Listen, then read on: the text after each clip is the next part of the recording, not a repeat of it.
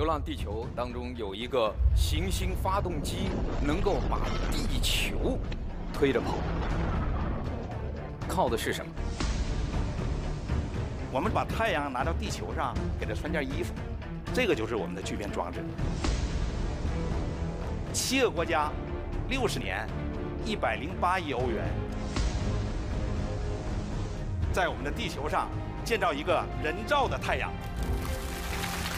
吕广宏，北京航空航天大学物理科学与核能工程学院院长，作为科技部国际热核聚变实验堆专项首席科学家，他会如何展望科学与未来？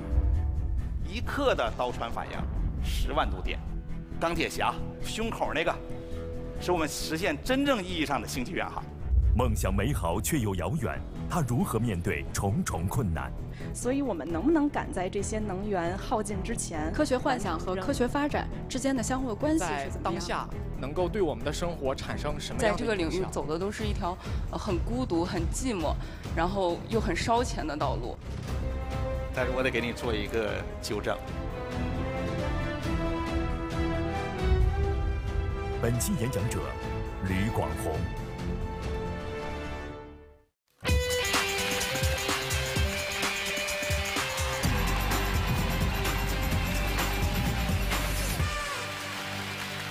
欢迎收看中国电视荧屏上首个电视青年公开课开讲了，我是主持人撒贝宁，欢迎各位。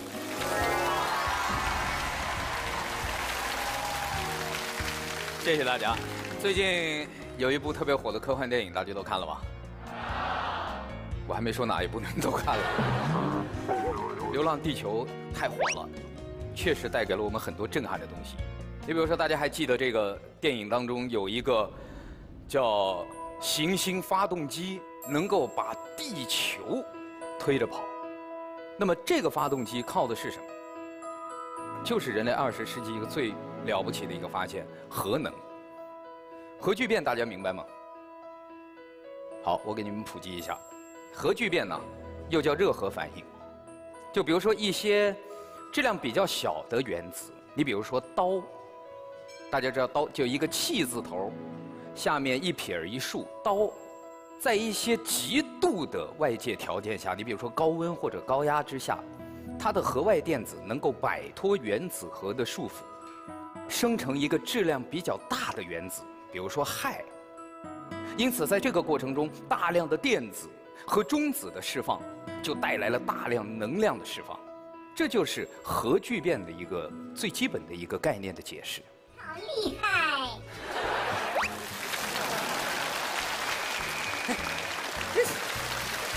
很基本嘛，是吧？作为一个文科生，背这一段话大概也就一分钟嘛。但是至于这段话讲的是什么，鬼知道。今天我们的这位开讲嘉宾，他研究的就是刚才我说的核聚变这个领域。而在核聚变当中，我们这位嘉宾研究的具体又是什么呢？还是让他自己来给大家介绍吧，因为那些东西我实在背不下来了。掌声有请开讲嘉宾，北航物理科学与核能工程学院院长、科技部国际热核聚变实验堆 ITER 专项首席科学家吕广宏，有请。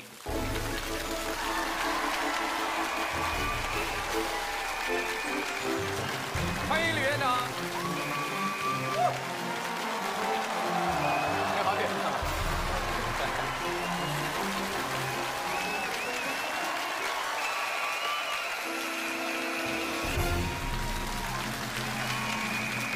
谢谢大家，谢谢大家，大家请坐。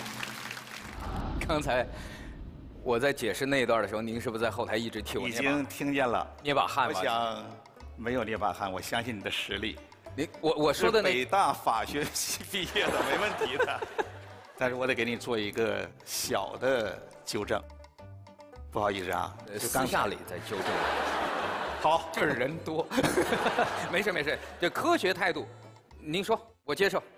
呃，就是刚才这个国际热核聚变实验堆，ITER，嗯，我们一般不这么说，我们叫 ITER。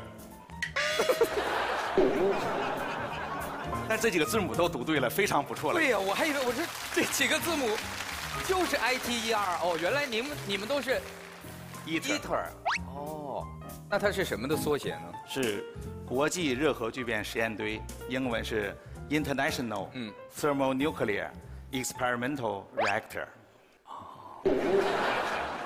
我就听懂了一个 international，后后面这个已经变成一个专有名词。专有名词。对一说不用 ITER，说，就说 ITER 搞物理的搞搞核聚变的都知道了。是热核聚变实验堆，我们很难想象，它是它是一个项目，还是一个一个一个一个建筑，还是一个既是一个项目，又是一个建筑，也是一个设施一个大的科学装置，类比于行星发动机，但是它一个小型的，在什么地方？在法国建造，这有七个国家地区一起建造，投资一百零八亿欧元，是一个大科学工程。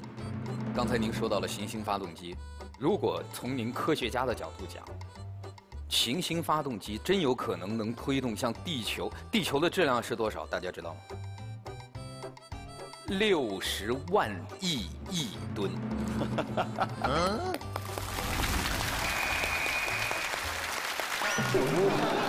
我作为一个地球人，我不该知道自己的星球有多重吗？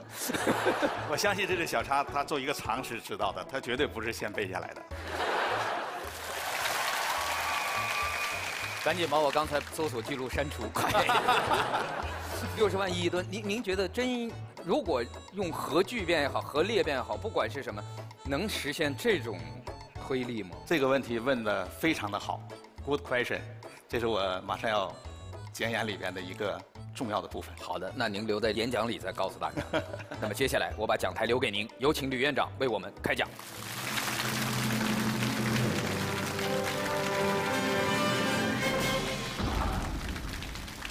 各位同学，大家好，非常高兴有机会能够来到开讲了这样一个讲台。《流浪地球》这部电影，刚才小沙已经说了，非常的热，热到什么程度呢？可能跟巨变之火那么热都一样了。这部电影啊，它是非常震撼的，是吧？大家看到很多这样的镜头，比如地下城，是吧？坐电梯下去，比如说那个运载车，说什么道路千万条，安全第一条，是吧？但是说真的，最令我震撼的就那行星发动机，上万个行星发动机来推动地球离开太阳系，这是一个多么宏伟的气势啊！真是令人震撼，令人感动。那么呀，大家非常热烈讨论，这个行星发动机真的能够推动地球离开太阳系吗？什么样的能源能够为这个行星发动机提供动力呢？咱们地球上现有的传统能源、化学能源是无法满足这个要求的。为什么呢？我们可以做个简单的计算。我要想推动这个地球，需要多大的能量呢？十的三十三次方焦耳，好多个零是吧？好多个零，它相当于我们要燃烧十的二十三次方吨的标准煤。还是没概念，还这么多零是吧？再给大家说，这么多吨的标准煤比地球的重量还要大几个量级，什么意思呢？我们烧掉了这个地球也满足不了这个要求。那么就问大家了，什么样的能源能满足这样的要求呢？聚变能源是吧？所以咱们行星发动机里边的燃料是什么呢？烧石头啊，同学们。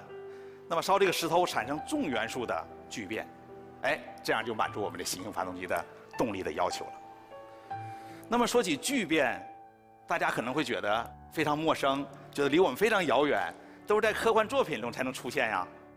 实际上，聚变能源离我们非常的接近，就在我们身边，每天和我们亲密接触。为什么呢？太阳就在无时无刻的进行着核聚变，向我们发射的光和热，多重要啊！没有了太阳，生活将会怎样？非常重要。不知道大家有没有听过一首儿童歌曲，叫做《种太阳》。那么里边有一个歌词，大家听到是吧？我有一个美丽的愿望，长大以后能播种太阳。其实这就是我们所有的做巨变的同志们共同的梦想，就是在我们的地球上建造一个人造的太阳。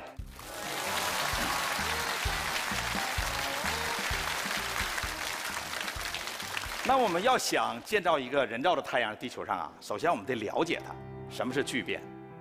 聚变就是把质量小的原子把它聚合在一起，生成质量大的原子，是吧？然后放出能量这一个过程。那么聚变反应啊，有的困难，有的容易。什么样是困难的聚变反应呢？就是咱们《流浪地球》里边这个行星发动机里边的重元素聚变，那是相当困难的，我们现在想都不敢想。那么最容易的聚变反应是什么呢？就是氘和氚，氘和氚反应生成氦，氦是一个动性气体元素，不愿意和别人发生反应。那么中子呢，就原子核里边一个粒子，这个能量非常高，十四点一万亿微，这么一个反应就叫做聚变反应，这是一个最简单的聚变反应。那么大家可能会问，聚变能源是一个什么样的能源呢？为什么它就能用在行星发动机上呢？我告诉大家，聚变能源它的特点四个字：充足、高效。充足到什么程度呢？聚变的原料是氘，是吧？氘在海水里边含量非常非常的丰富，丰富到什么程度呢？一升的海水里边含有零点零三克的氘。那么地球上所有的海水里边含氘量是多少呢？四十五万亿吨。那么这个够人类生存多少年的这个电力？几百亿年。这是个什么概念啊？太阳的寿命可能就一百多亿年，所以这个聚变的能源足够我们使用到地老天荒这样一个能源。那么这是一个充足，还有高效。一克的氘氚反应能产生多少度电呢？十万度电。十万度电是个什么概念呢？大家知不知道我们一个家庭一般三口之家一天的用电量是多少呢？我相信大家都不会知道，肯定在你家不交电费。我也不知道，我也问了我爱人，说到底我们家用多少度电呢？他说一天基本上十度电左右。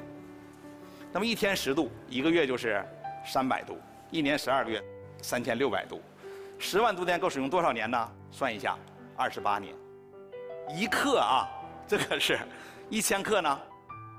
那就是两万八千年，所以聚变是一个取之不尽、用之不竭的这么一个能源。正因为聚变有这样的特点，充足、高效这样的特点，所以啊，聚变就是科幻小说里边的常客。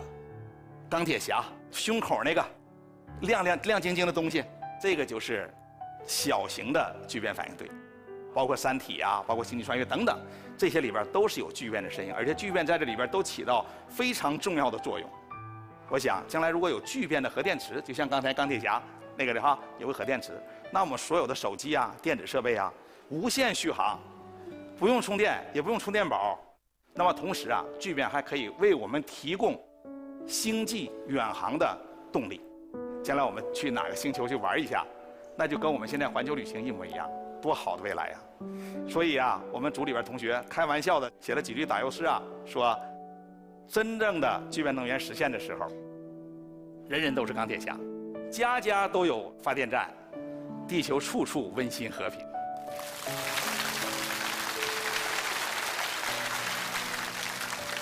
所以现在问一下大家，觉得聚变能源实现之后，这前景美不美好呢？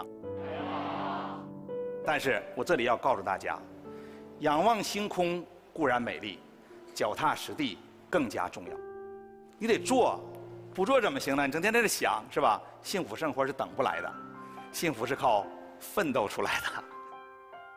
我零六年从美国到北航工作，那时候我对聚变知之甚少，就和刚才大家进来那个状态，我估计应该是一样的。但是零六年的时候啊，我们北航获批了一个国际会议的主办权，什么会议呢？叫第九届。固体辐照效应计算机模拟的这么一个国际会议，是第一次这样的会议在中国举办。当时会议主席啊是王天民老师，老先生，他现在是我的师叔，我日本东京大学毕业的，我导师叫山本良一，他俩是师兄弟。我是因为王老师到北航的。王老师告诉我，你得负责具体操作组织这个国际会议。正因为组织这个会，我就结识了很多从事聚变和核能方面的一些同志们。有国内的，有国外的，从此就踏上了聚变之路，而且这条路一走就是十二年。那么当时啊，我们做这个工作的时候，那就得找问题。实际上，我觉得提出问题比分析问题、解决问题更重要，是吧？如何提出问题？那么当时我们怎么分析的呢？聚变装置你可以怎么理解呢？就它叫人造太阳，就是我们把太阳拿到地球上，给它穿件衣服，这个就是我们的聚变装置，是吧？所以大家可以想象，我们这样的聚变装置里边，有可能会存在哪些问题呢？一类就是里边这个太阳，就是燃料的稳定运行这样一个问题。我们要把它加热到上亿度的高温，大家听到这个温度啊，就知道聚变反应会有多么的难。那么第二个问题是什么呢？就外边的材料，穿件衣服，就这衣服也得 hold 得住才行，这样才能保证我这个聚变装置稳定运行，是吧？但这些材料，大家可以想想，它的条件肯定是非常苛刻。我这个衣服的工作状态一定是不 happy 的，一定是不舒服的。为什么呀？你想想，中间包个太阳啊，它能舒服吗？是吧？非常不容易，这个材料是吧？就怎么把这衣服做好啊？你就得把这个材料，把这衣服拿来放在这个聚变条件下，得照它呀，极端条件让它感觉到底这材料变成什么样。比如我开发一种新的材料，这个衣服特别好，那我得把它拿来试一试啊，是吧？原来老话说试骡子试马，拿出来溜溜看看，是吧？看看，具体怎么做呢？在实验室里边来模拟那个聚变堆里边那个太阳里边那个条件，真正看看这衣服会成什么样的，这就是实验模拟。那么，告诉大家呢，我们确实建造了一个国内第一台的这样一个实验模拟的装置，我们把它叫做直线等离体装置。那么从零七年开始，一直到一零年开始建设在合肥，一直到一四年建成，前后从设计开始花费了七年的时间。有的同学可能会问：“哎呦，你们不行吧？建了一个设备花了七年的时间？”其实不是这样的。我告诉大家，这个设备它是一种非标的设备。什么叫非标的设备呢？就你买不到的。我们很多设备啊，扫描电镜、透视电镜，我可以跟着厂家一说。那个定制一个设备，他就给你做好就拿过来了，不用你做任何事情。我们这个没有啊，我们得参照国外的设备来做，非常困难，中间遇见了很多很多的困难，很多挫折。那么我为什么要做这样的装置呢？第一需要，是吧？不需要我们就不干了，是吧？第二，美国、日本、荷兰他们都有这样的设备，咱没有。不知道同学们会不会理解，咱没有设备，人国外有是一个什么样的感觉？就是我们假设要做个实验，我们把这样品跟国外说我们要做个实验，他会告诉你，one month later，一个月之后，甚至半年之后，甚至一年之后，甚至说我们现在不能做，你怎么办？所以啊，我们一定得有自己的装置。如果我们有了自己的装置，想做什么实验就做什么实验，想做多长时间就做多长时间，这些都是咱们自己说的算。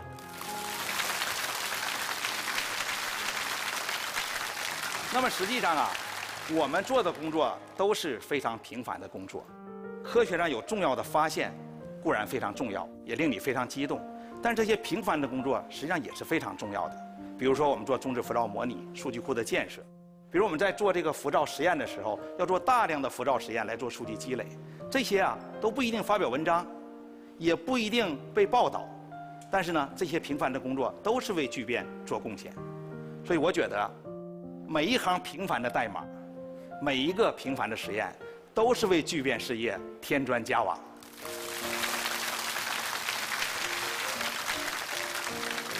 聚变，英文就叫 fusion，就是聚合、凝聚、合作的意思。所以啊，聚变一定要合作。现在聚变呢，经过了几十年的努力，有七个国家和地区一起共同建设一个叫做 ITER。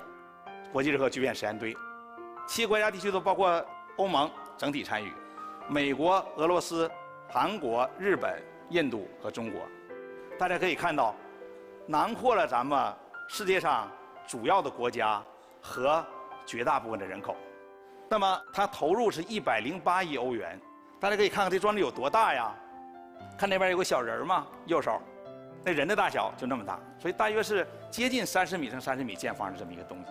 伊特计划是仅次于人类空间站的第二大的国际合作计划。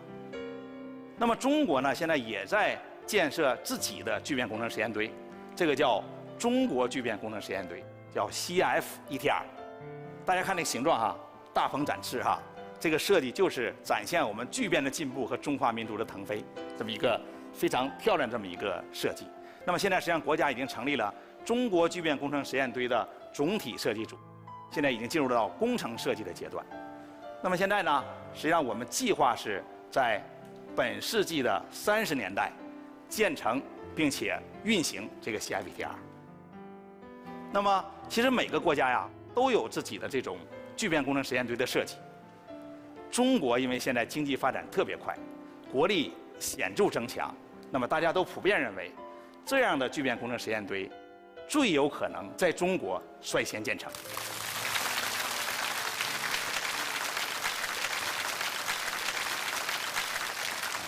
大家会不会觉得，投入这么多，伊特投入一百亿人民币，咱们一 CIBTR 将来建设要投入几百亿的规模，会不会觉得投入太多了呢？投入到聚变这么多钱，到底值不值得呢？这个问题有很多人在问。还有就是现有的能源，我们还能用，还能使用两百年到三百年，那我们是不是不值得做聚变了呢？是不是跟我们在座各位都没有关系了呢？其实不是这样的，是吧？我要告诉大家，聚变这个事，是和我们的子孙后代紧密相关，那么和我们人类的未来紧密相关。所以啊，我觉得聚变它是一个功在当代、利在千秋的一件大事。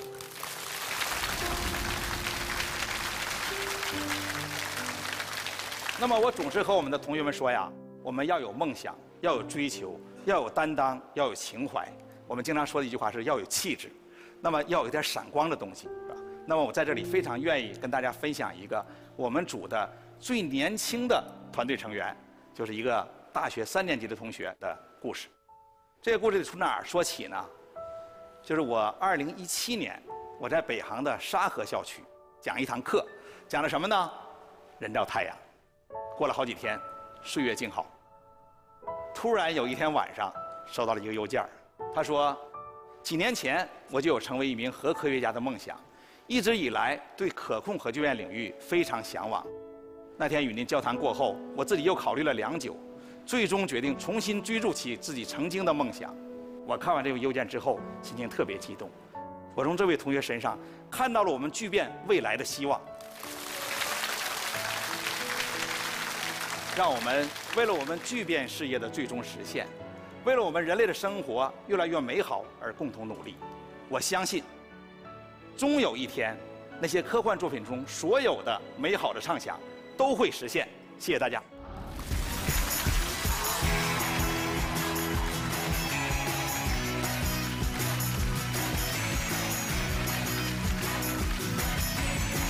谢谢李院长，谢谢，谢谢。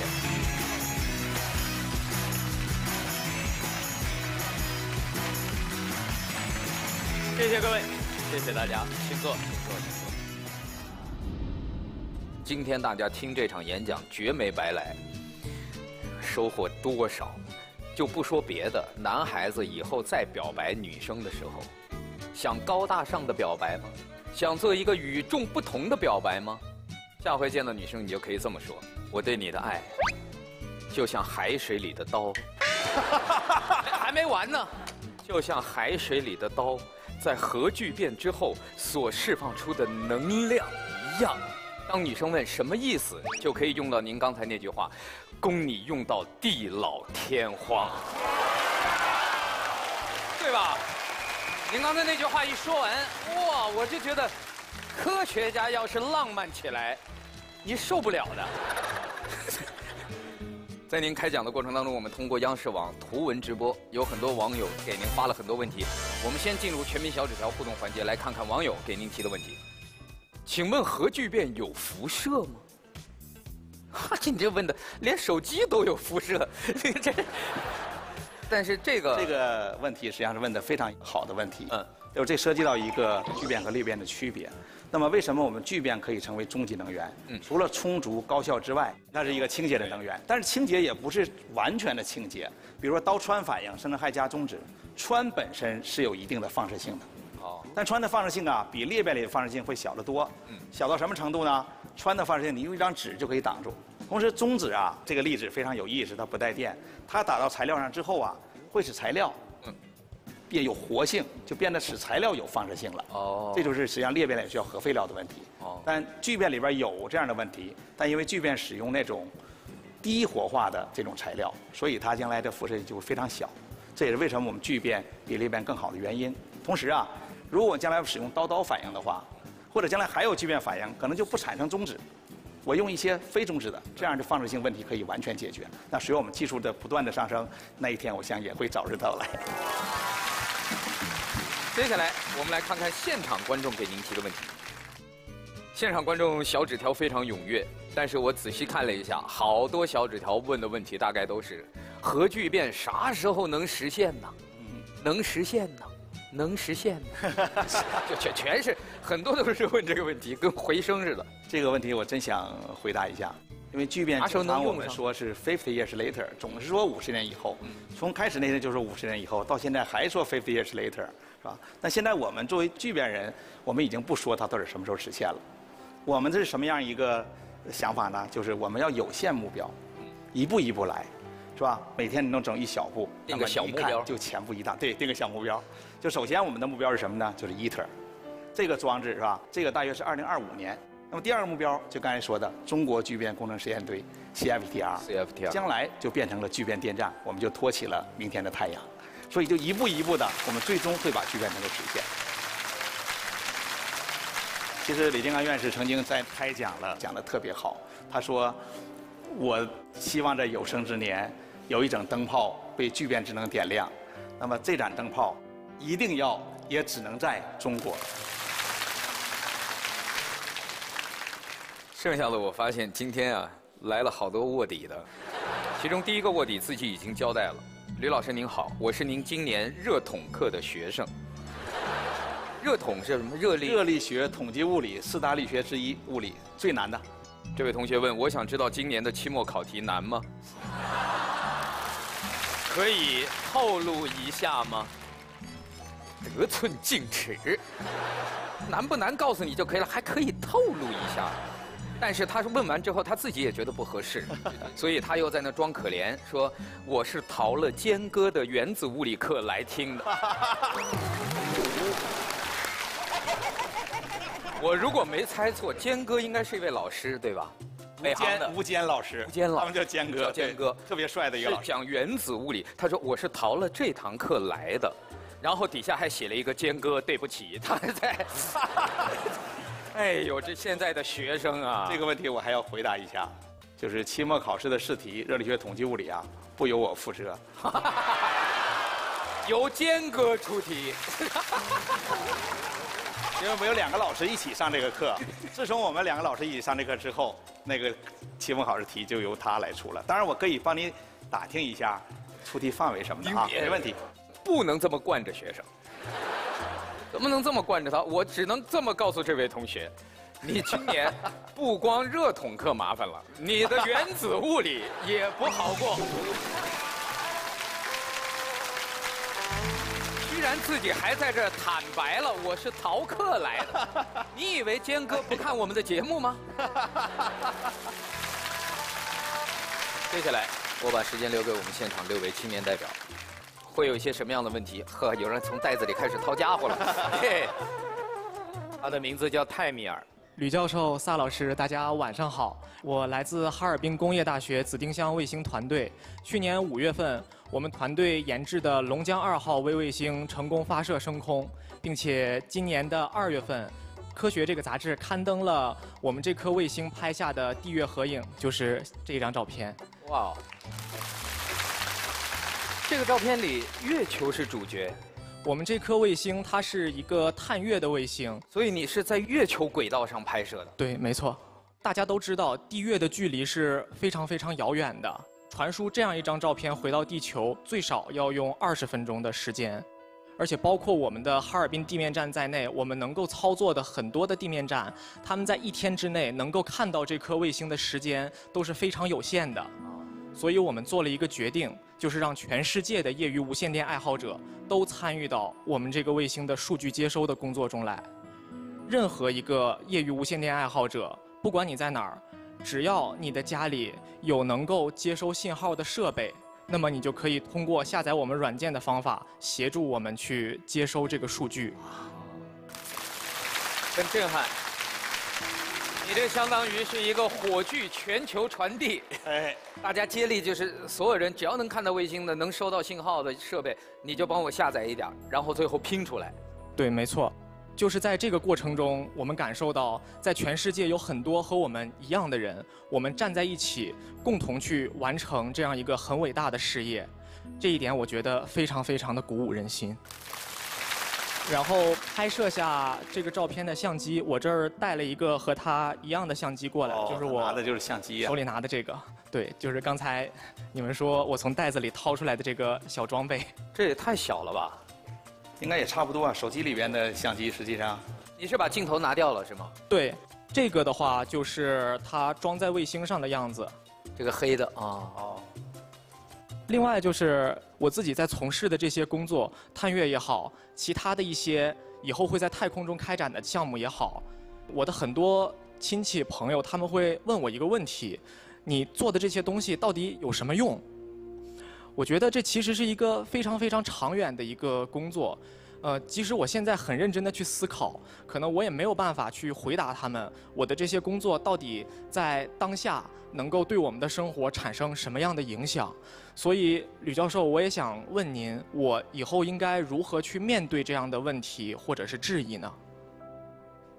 其实，我们做科学探索的话，兴趣和好奇心这是最重要的。有用也可以，没用其实也没有关系，关键你对它要有好奇心。中国的科学和西方的科学，它有什么样的区别？就原来古希腊的时候，他们做科学研究的时候，他们那些问题实际上在我们看来可能都是非常可笑的问题。比如说一加一为什么等于二，在中国看来可能都是没有什么用处的问题。所以你在回答的时候，你可以说，就是我们就是要追求它，要探索它，就是想了解它为什么。我要不清楚它为什么，我吃不好饭，睡不好觉，一定得搞清楚它为什么，这样我们才行。将来可能有用，实际上大部分都应该是有用的，但也可能没用。但是我们就这好奇心，这才是科学发展的动力和源泉。我也帮你个忙，下回再有人这么问你，你就说因为有用的东西都已经有人发明了，我只能搞点没有用的。您刚才那一段话真的是科学家的一个经典的内心独白，就是我不管它有用还是没用，有用更好，没用也不影响我探知这个世界的这种好奇。你们其实是真正非常幸福的人，能带着好奇心去面对每一个未知的明天。说句实话，我其实问这个问题之前，我都没有想到今天能够得到一个这么完美的回答。您的回答真的非常非常的鼓舞人心，非常的让我振奋。所以我想以后我在我的道路上肯定也会继续贯彻我经常跟我朋友们说的一句话吧：一剑长袭天河去，浩荡星海寄余生。好，下一位。老师好，夏老师好，我叫秦诗瑶，是一名物理学博士。一般来说呢，这个博士呢都是学生主动联系老师，但我呢是老师主动找我做的学生。那是在一次联欢会上，然后呢，这位导师恰好坐在我的旁边，然后他就问我，他说：“你将来毕业要干什么呀？”我说：“我准备直接读博。”然后他特别兴奋，他马上说：“那你来我们组读呗。”然后我当时觉得特别受宠若惊，因为好惊喜，老师能居然邀请我。当时组里一定特别缺人，我觉得是吧？有可能。那么这位老师呢，就是李老师。因为我们物理学院的每一届的本科生，我都给他们上热力学统计物理，就刚才那个热统。就刚才热统。嗯，他是大班第一的学生，特别优秀。是您找好苗子。学生啊更珍贵，我们要找学生，我们得动员他。真是好同学，我得动员他，你过来吧，到我们处来吧。那一天的。联欢会偶遇，确实是偶遇。是我旁边特意留出位置给李老师坐。所以从零九年到一九年，我已经认识吕老师十年了。在这十年里，吕老师带给我很大的影响，就连我的终身大事都是吕老师帮我搞定的。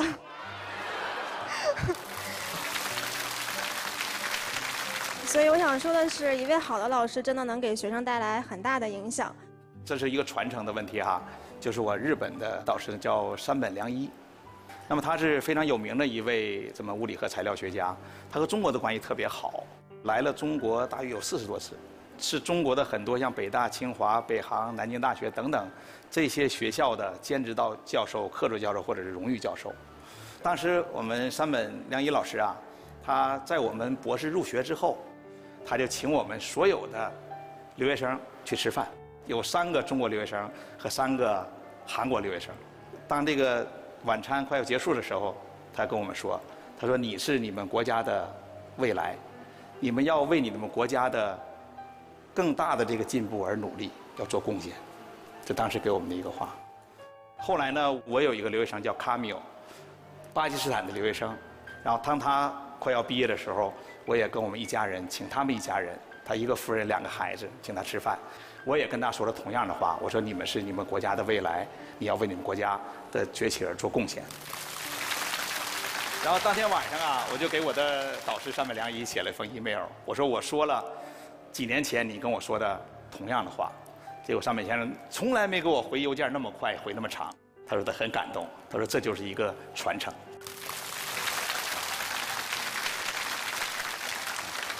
呃，那么刚才李老师说到传承，呃，现在呢，我也是一名物理老师，然后我也很希望能够以我的方式影响我的学生。我今天也带来了我的一个学生。你的学生在哪儿？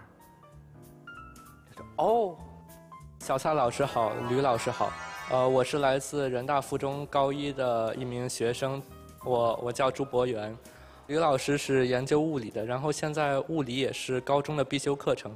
呃，但是我们会发现，周围可能很多同学，他们呃除了考试之外，并不是十分明白学习物理的意义。学习高中物理啊，最重要就是打基础。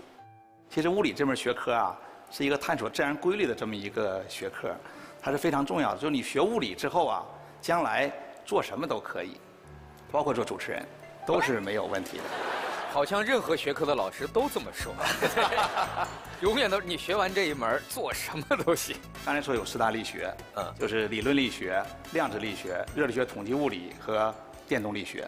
这四大力学呀，你要不学物理的人，你是会望而却步的。嗯，不是说你学不好，想让你去学这个斯大力学，相信你也能学好。但你说心理上克服不了这个障碍，你就觉得它特别难，你学不好。嗯，但是学物理同学学完这个之后，那没有什么再比它更难的了，所有的问题都能搞定。包括锯片。吕老师的意思是，即使将来不准备从事科研的行业，但是学习物理过程中，我们可以培养这种对于自然的探求的精神，还有克服困难的这种意志。对，我就这意思。他比我说的好。谢谢，谢谢两位，谢谢。谢谢老师。不错，谢谢谢谢。下一位，来。大家好，我是电影《流浪地球》后期视效制作公司的，我叫魏玉清。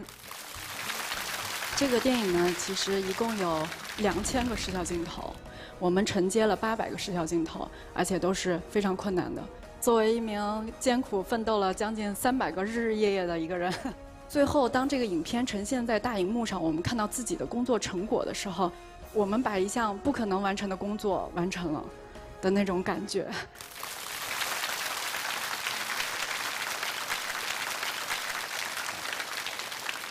我想问吕老师一个问题：《流浪地球》上映以后引起了国内的科幻热，那么我想问问您，您觉得科学幻想和科学发展之间的相互的关系是怎么样的？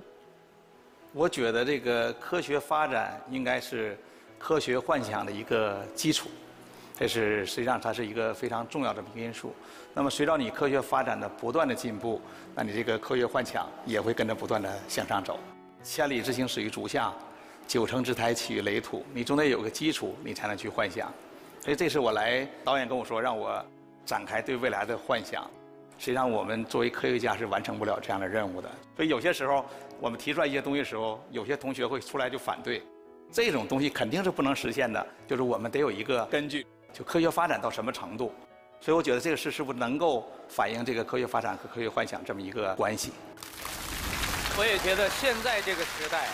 想做一名科幻作家，难度越来越大，因为它要求着你可能对于自然科学的积累有一定了解，已经不是过去在最早，你像儒勒·凡尔纳那种，这个海底两万里啊，或者月球那种，他可能只需要就是超出旁边人的想象力，他就可能能够完成一部作品。但是现在的科幻作品，光靠想象力已经不足以支撑科幻了。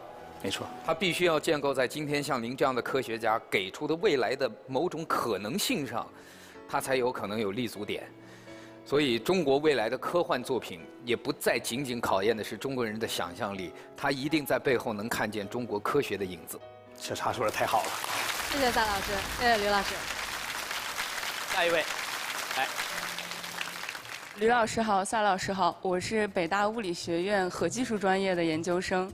刚才您在演讲中提到了海水里面的燃料是很充足也很高效的。如果以后我们实现了可控核聚变，嗯，那我们是不是也可以把目光呃放到更遥远的宇宙空间呢？比如说木星和月球，它们能不能成为我们的采矿基地呢？实际上，采矿基地这个事儿，首先说一下，就是如果将来我们的聚变能源实现了那种星际旅行，那就任意到哪个星球上去获取它的资源。现在比如说我们是用刀川反应，实际上还有一个非常重要的聚变反应，也是非常容易的，就用氦三。氦三实际上在月球上非常多，储量非常丰富，把它拿下来之后，我们也可以用来做聚变。所以将来这个聚变的原料还有很多很多。所以你说的非常正确，真是核技术方向的一个研究生。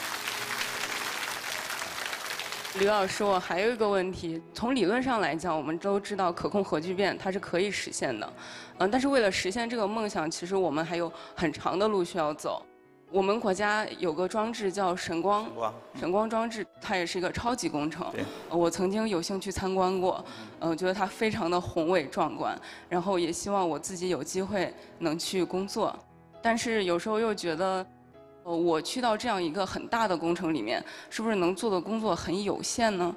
所以我就想问您一下，呃，您是不是建议年轻人去到一个大工程里面做一枚螺丝钉呢？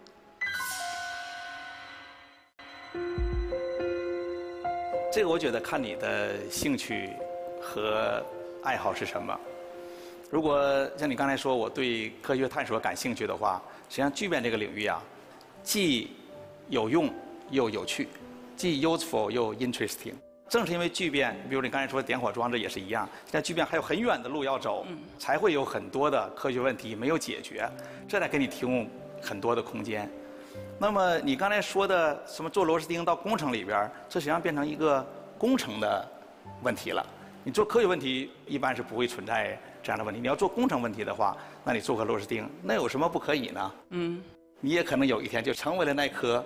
特别重要的那个螺丝钉，那就完全不一样了。是，虽然这个工作很艰难，但是也很有趣，很有意义。谢谢，请坐。谢谢，谢谢。其实我有时候又羡慕，但是又嫉妒，就像他们这种自称为是智商顶级的群体。就感觉我自己老是来地球是凑人数的，所以我在想，跟科学家同样作为人类的一份子，我是觉得很踏实的。有什么事儿交给他们吧，能源不够了，他们一定能解决的。煤烧完了，怕啥呀？太阳爆炸了，没关系，有他们呢。但是，我又突然转念一想。每一个人在这颗星球上都是一枚螺丝钉。如果这个星球是一个超大的工程，是的，它少不了任何一颗螺丝钉。我们每个人在自己的岗位上把我们的事情做好，所以让我们一起和科学家携手，去迎接属于我们这颗星球和人类共同的未来。感谢收看我们这期开讲，下期节目再见。